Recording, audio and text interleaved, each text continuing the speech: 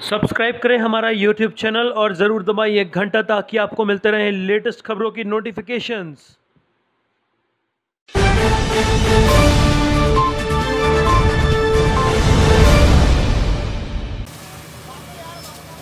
लुधियाना से एक बड़ी खबर है, लुधियाना के मीना बाज़ार चौक के पास आग लगी है। शनिवार रात साढ़े आठ बजे के करीब शहर के बीचों बीच स्थित मीना बाज़ार चौक के पास हैप्पी गारमेंट्स नाम की कपड़ों की दुकान में आग लग गई थी।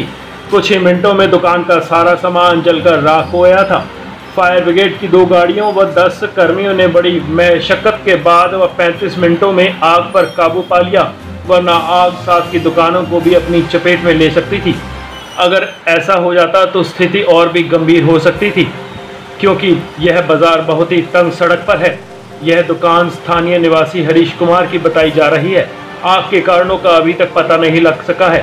फायर अफसर सृष्टि नाथ ने वन न्यूज़ चैनल के संवाददाता को बताया कि लुधियाना फायर ब्रिगेड हर स्थिति से निपटने के लिए चौबीसों घंटे तैयार रहता है।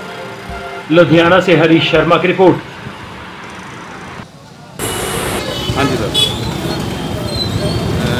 नौ बज के पंद्रह मिनट तो से सू इतला आई थी कि मीना बाज़ार के कोल दुकान के अग लगी है।